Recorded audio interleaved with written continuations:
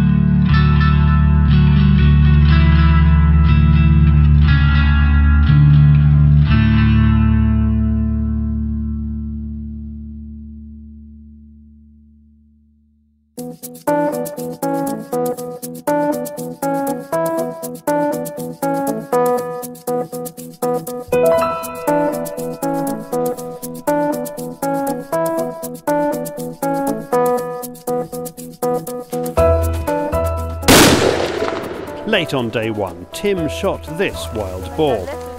Thankfully, it was a dead pig running and the dogs recovered it after it ran into the long stuff.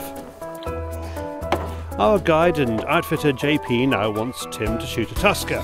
That's going to require a bit more effort. Not that we're complaining. However, shooting one is proving a whole different story.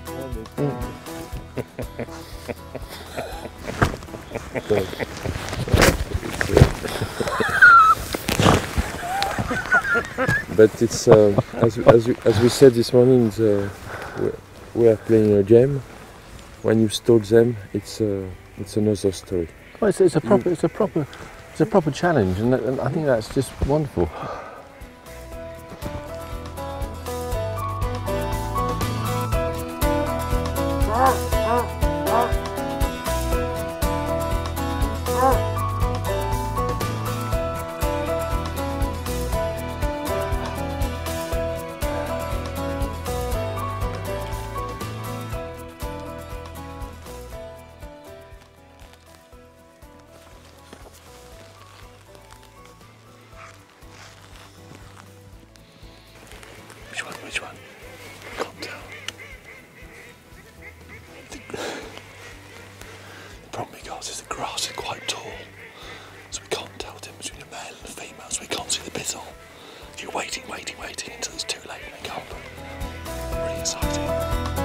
JP runs this French estate south of Paris, at the same time as running the French hunting magazine Chasse Internationale. He knows his onions, is that racist? And has brought all his international experience to the driven bird shooting and all the other driven game he offers here. it's very complicated when you, you take clients to Tajikistan or in Africa to have everything fits as you want and here in this place where I live it's much easy for me and it's easier for me to have a racing fits with the keeper with everybody. And I think we can provide very high quality uh, hunt here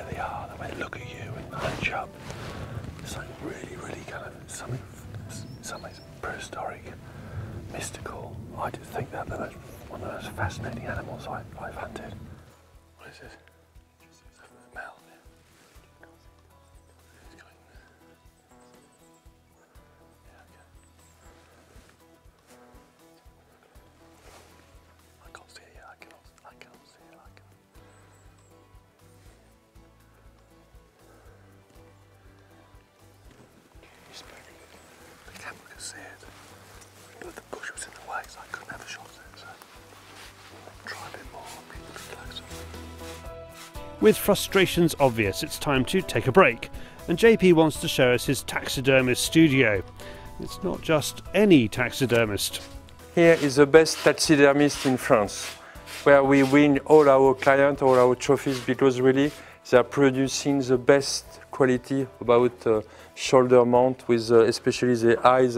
They are the best in France. We'll, uh, we'll visit, just show you.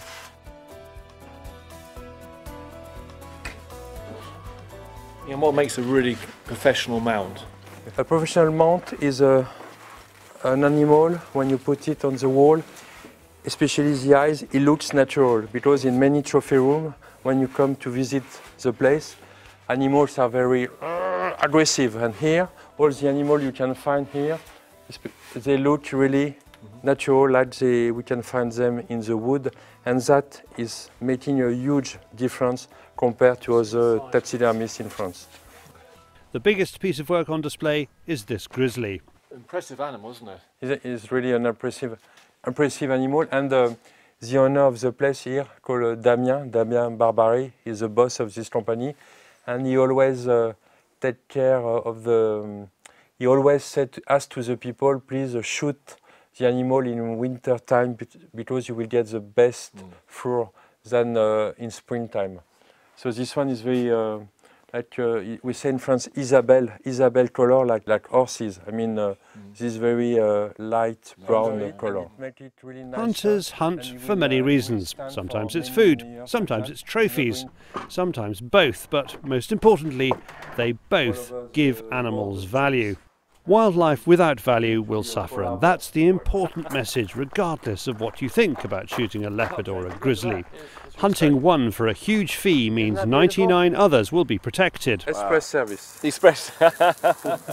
now from mounts to meat, and before our last boar outing, we have our last French supper at L'Auberge with JP's fiancée, Désirée. So he's cooking the filet from the deer, um, and he's just giving first, uh, giving it some heat, and then he's going to put it on the with the the cep and in the oven just to give it the right, if you want it cooked well done or rare or medium. This is one of the hotels where hunting guests can stay. On offer this afternoon is locally shot venison with the mushrooms we picked earlier. Well done, chef. Talking with food in my mouth now. Got it! right, fed and watered, we need to find our boar. This time we get lucky and the wind and the boar are in the right place. JP sets up Tim on the ride, anticipating the family will cross in front of us. It's a gamble.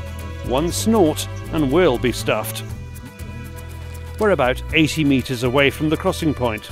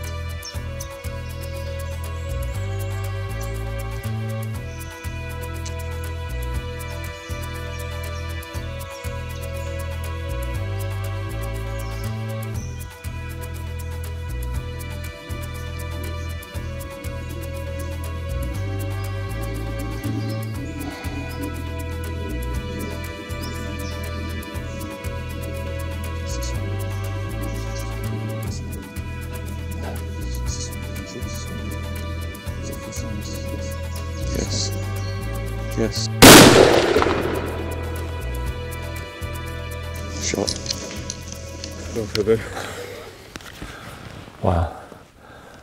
It seemed like half an hour, but um, I don't know how long it actually really was. Maybe 10 minutes.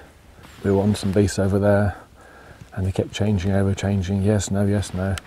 And to our left, there's some more coming through. So we just started from over there, and the trees are in the way. And of course, um, our guide is looking from a slightly different angle. So he's saying it's a front one, middle one, rear one. It's a big one. Well, they all look quite big, quite honestly. So, uh, so he's kind of yes, shoot, shoot. Well, I he said shoot it, but I couldn't see it because of the trees. And just that, not being able to take that shot. You know, one minute's fine, it it moves, it moves, it moves, and moves, and I for goodness sake. And as it as it as it gets longer and longer, you're I'm getting more and more tense and go, for goodness sake, can't I just, just present a, a proper shot? Most amazing experience. Yes. and I can sense, sense you guys, come on Tim, shoot it, shoot it. I can't, I can't see it, it's not me, it's moving, it's the trees in the way. You know, so, and then we, we waited our time, didn't we? Yeah, but we, you did well, and we stand uh, maybe uh, eight to ten minutes there. Yeah, it was, it was Before they were maybe we, we nearly shot at a small one. Yeah, yeah. there. Another herd was there, all going on. and myself I got the camera plus the binocular. Like that, and things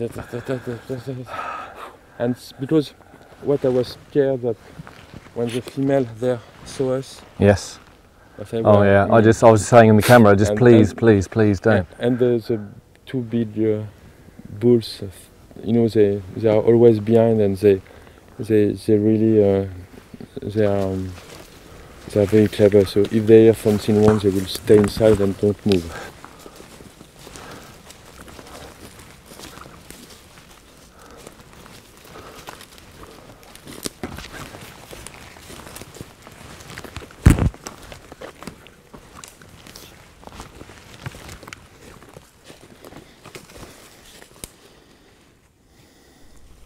It's a really nice wild boar, and we've earned it. I think the weight is around 100 kilo. 100 kilo because he has a huge, huge body.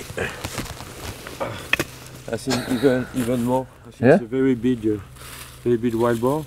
And here, it's incredible how the the skin like that is so is so uh, thick because it's a place where they fight. The males together, they fight and they touch there. And when with your knife, you can try try with your Yeah, knife to to get in, and you will see how hard is it. Okay. Bloody hell. That's- That's tough, isn't it? Yeah. Wow. If the bullet is not going through the animal, the trouble is with the grease, the hole is going to, to be closed Mhm. and no blood will get out of here. You need a very hard Yeah. bullet instead of a soft nose because on such a wild boar you can have put a very good shot placement.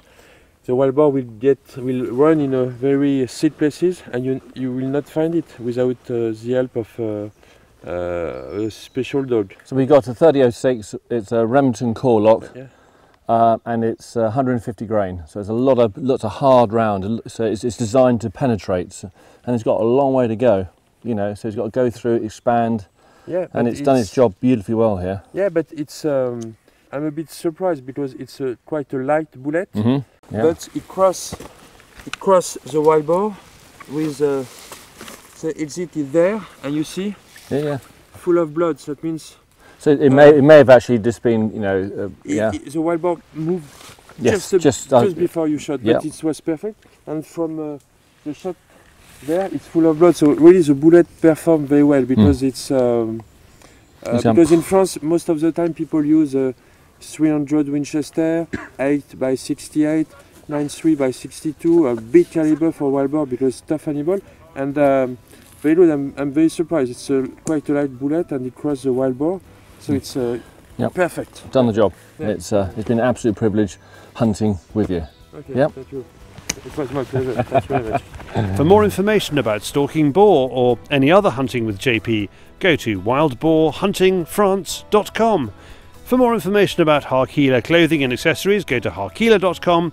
And for information about Steyr rifles, go to steyrmannlicher.com. Thank you, Tim. Thank you, JP, and thank you, Desiree. From forest to fork. Talking of forests, it's the Gump version, and life is like a box of chocolates with David on the Field Sports Channel News Stump.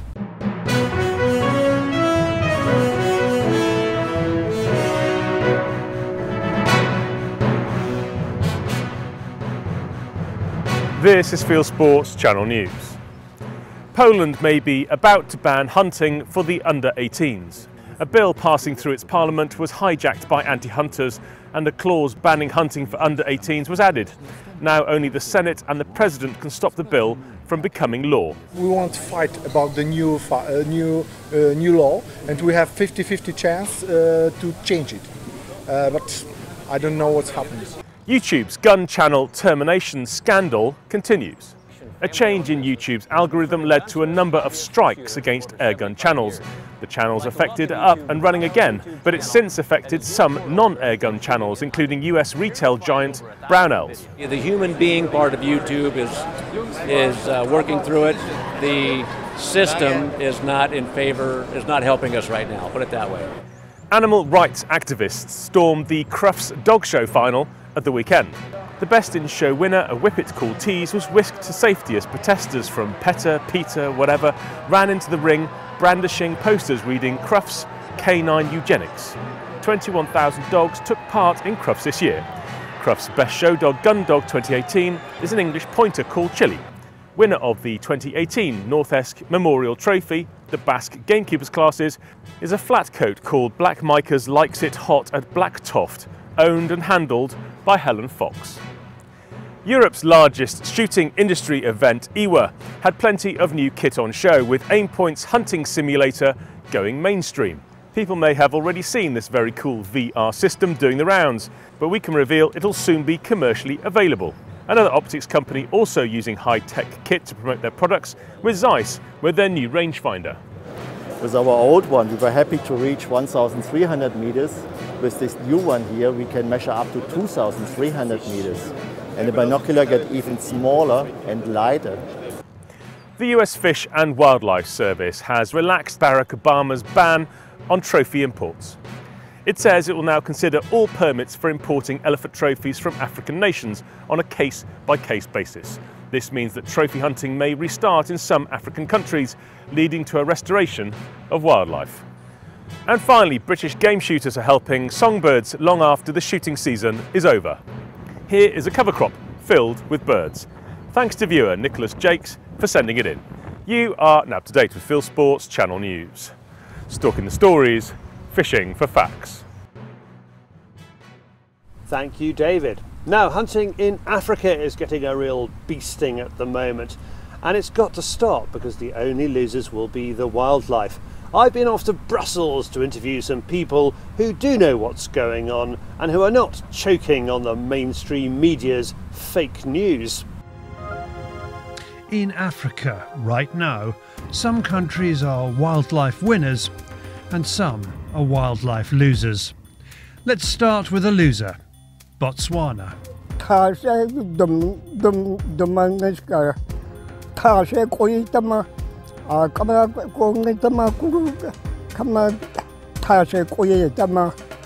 This is part of a new film which is showing what's happening in a country that recently banned hunting.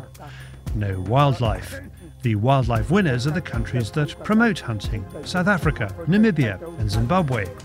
All this was laid bare at a conference in the European Parliament last week, where I was helping out with the official TV interviews. So I'm about to go in and take part in the conference. I'm British and I'm a hunter. I don't know which they're going to dislike more. MEPs at the conference were surprised to learn that wicked old trophy hunting has been boosting wildlife populations all over the region in the last few decades.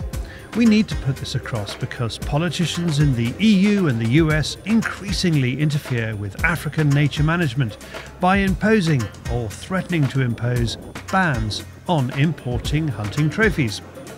Here's a simple example of how the system works in South Africa. Briefly, the story of Bontebok is that in the 1925, we had exactly about 126 Bontebok left.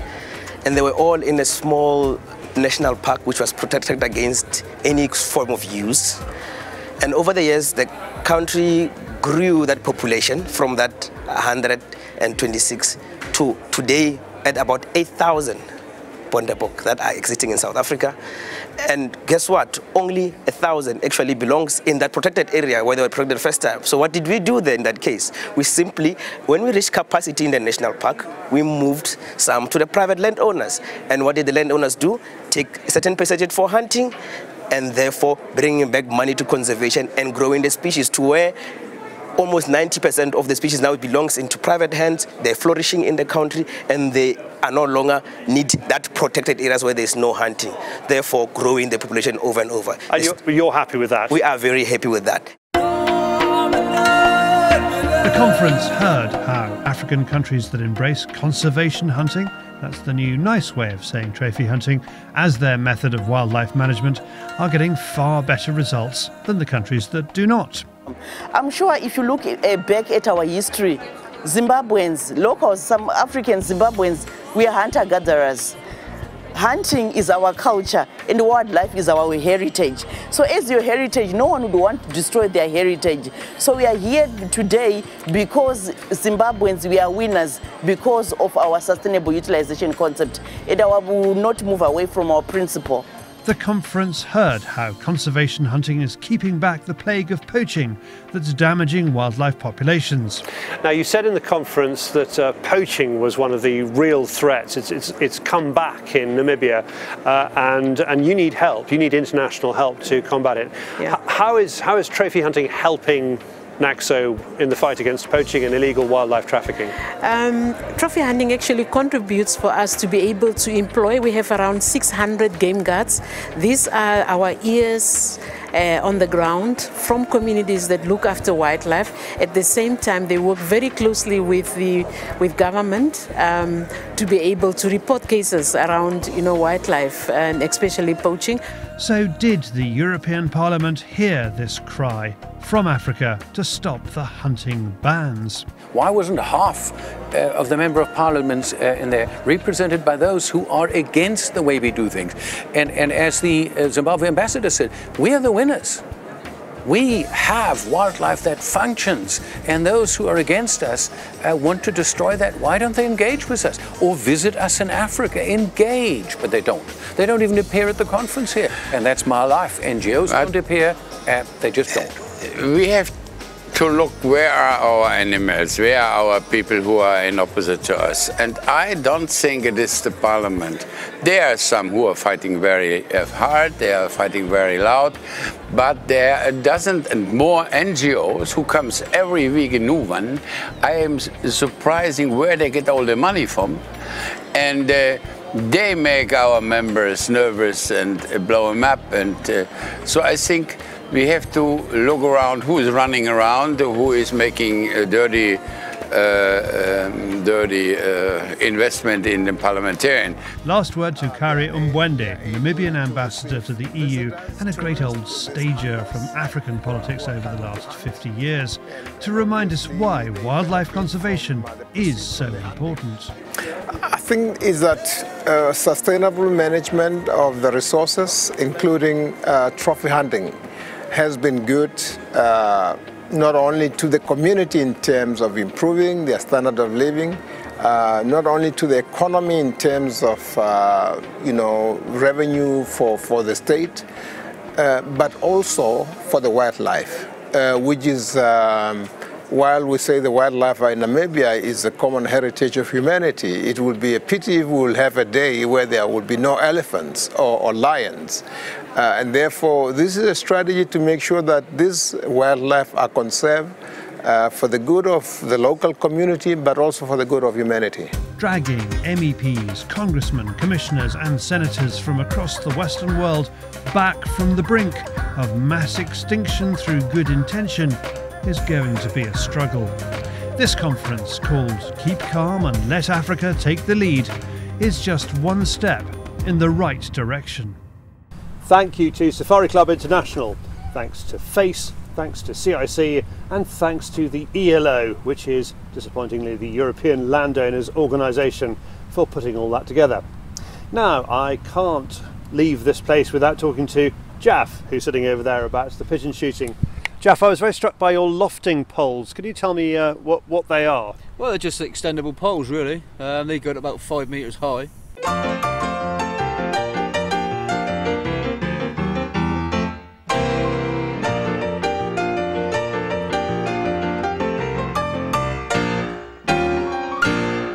Um, come in really handy for getting pigeons up in the trees because pigeons don't always decoy into the pattern. Sometimes they just like sitting in the trees. Now, if you can get them into the trees, you shoot them as well as in the pattern. Why not? You know, um, Um, they they sit on a little hook. Oh, over on your right.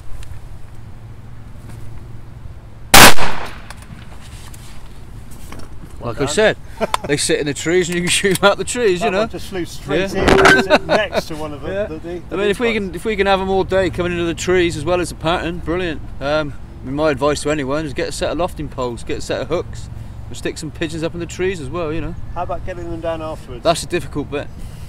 now, what I normally do is duct tape the pigeon to the hook, so you can just hit the pigeon with the pole.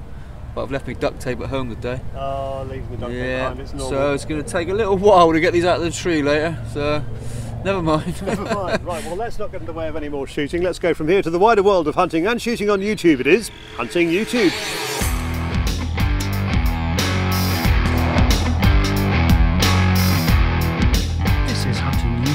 Aims to show the best hunting and shooting videos that YouTube has to offer. I have come back from IWA, having met lots of YouTube channel folk, old friends and new, and many recommendations for good channels. This one is called Bear Play, and the film is a trailer for a Swedish TV show it plans. I was pleased to meet Antoine from Le Chasseur Français, which is a massive French shooting magazine and a YouTube channel that's heading in the right direction. Here it shows kids hunting in the Bourges area of France. And there were lots of German hunting channels at IWA. I met Carsten from Jagd Totadel, who made this film about fox shooting in Germany. I also met up with the Ryleman brothers from the Hunter Brothers channel and Andreas from Dreispros, both of whom I've shouted out in recent hunting YouTubes. British gun channel Rack and Load was terminated by YouTube, nobody knows why, and is now reinstated. Neil Ragg, who runs it, is mightily relieved. Good to meet him. Staying on shows about IWA, I enjoyed this from Cap and Ball, which is a look around the Holtz gun auction stand at IWA and some amazing guns. Let's leave the tin shed behind and head for on the wet moors of North Yorkshire. Simon Whitehead has just put out this film. Viewer Jacob Ammon gets in touch about his channel. It has an extraordinary film on it about hunting in Dagestan. This one shows him out after bucks in Poland. And finally, the clay shooting season is just around the corner. Someone recommended this to me at IWA. Award-winning South Down Gun Club has a new channel showing off all aspects of shooting, including this short film about how they are building a competition course. That's it for this week. I've put all these films into a playlist for you. Click on the i symbol top right or check this film's description. If you have a YouTube film you'd like us to pop into the weekly top 8, email me the link charlie at fieldsportschannel.tv. Well, we're back next week. If you haven't done so already, please pop over to our website, fieldsportschannel.tv. You can click to like us there on Facebook, you can follow us on Twitter, you can subscribe to us on YouTube, and best of all, you can pop your email address into our register page and we'll contact you about this show, Field Sports Britain. It's out 7pm UK time every Wednesday. And you can also go to our shares page. 20 £8,000 worth of shares sold so far. That's fieldsportschannel.tv slash shares. It only remains for me to say so that I can get back to the pigeon shooting. Good hunting, good shooting, good fishing, and goodbye.